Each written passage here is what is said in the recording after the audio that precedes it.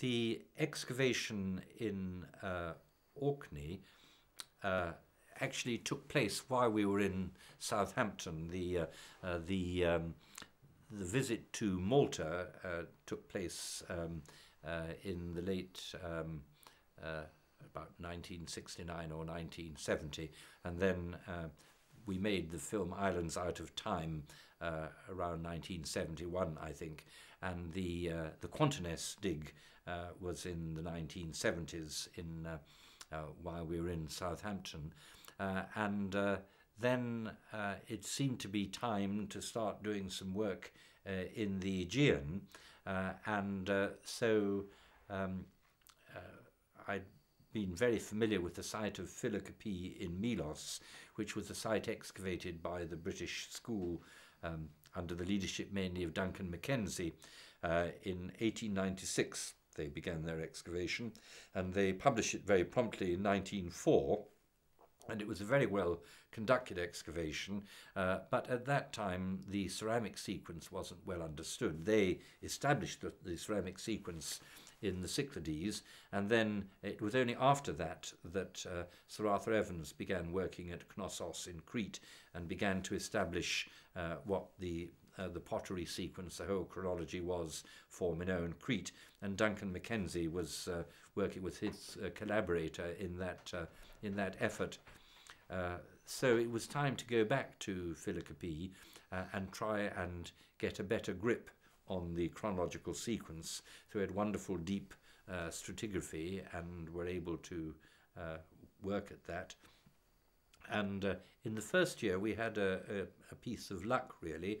We decided to excavate on a part of the site that hadn't been excavated before to try and get undisturbed levels from the last period of occupation and we were just digging down uh, in a small room, and then we found some terracotta figurines. We started finding odd things. We found um, broken ostrich egg shell with a handle that suggested that a handle had been fitted onto it in some way.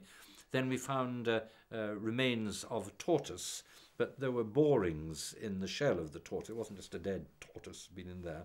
Uh, and then we found a small head uh, of beaten gold.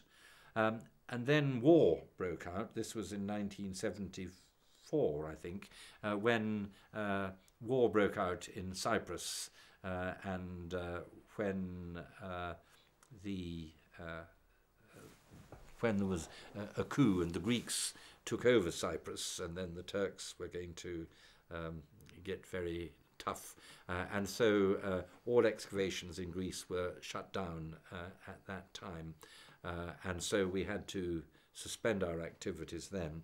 But when we went back uh, next year, it became clear that we were excavating uh, in what one might call a shrine. And this small room had got various figurines uh, and so on. And then adjacent to it was a much larger room with a whole series of uh, uh, terracotta sculptures uh, of uh, uh, of um, bovids of uh, oxen, I suppose, about this size, and uh, uh, so that was really um, an interesting problem to be uh, excavating um, what seemed to be probably a site of religious significance, and that was interesting because it, it put one on the spot. At what point, if you're an archaeologist, do you say, well, these aren't just toys or they're not just playthings? This is seriously uh, the practice of cult, the, uh, the practice of uh, religion. Uh, and that's always been one of the problems in archaeology. The theory of archaeology is not really very well established. Uh, how do you uh, find that you can pronounce that these are put there for a religious purpose rather than some frivolous way or they're the way you decorate your house uh, uh, uh, and so on. So um, we excavated there in 75 and then we had to have an extra year to finish in 1976.